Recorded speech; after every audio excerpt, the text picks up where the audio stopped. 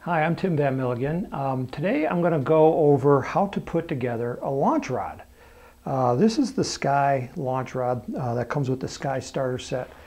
Um, and it's three pieces and people have been wondering how to put it together. Um, if you look at it, um, two of the pieces have roll pins in the ends and then the middle piece has two little holes, one on each end. Um, now these roll pins are really tight and the reason for this is I don't want it coming apart because sometimes you lift up um, on your launch rod like this one here and it comes apart and that's kind of annoying. Um, I didn't plan that to happen but I'm glad it did.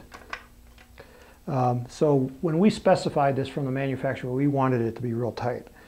Um, but to get them started what you do is you have to get the end inside the hole. Um, and all basically, that's all you need to do is to get it just started. Now, if it doesn't start on yours, there's two tricks you can try.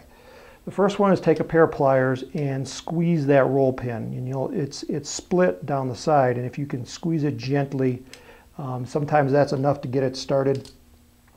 Um, you can also take uh, sandpaper or a, a metal file like this and just kind of go over the edge and just kind of round off that edge just enough so you can get it started in the hole. Okay, so as, as long as it's staying together like that, that's fine.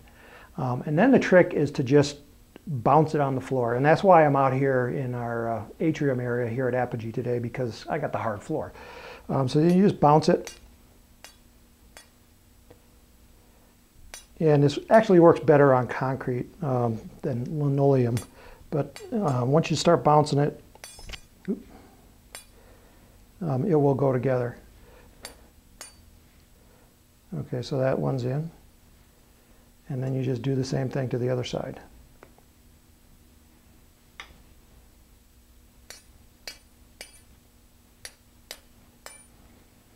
All right, and so there is how to put together a launch rod.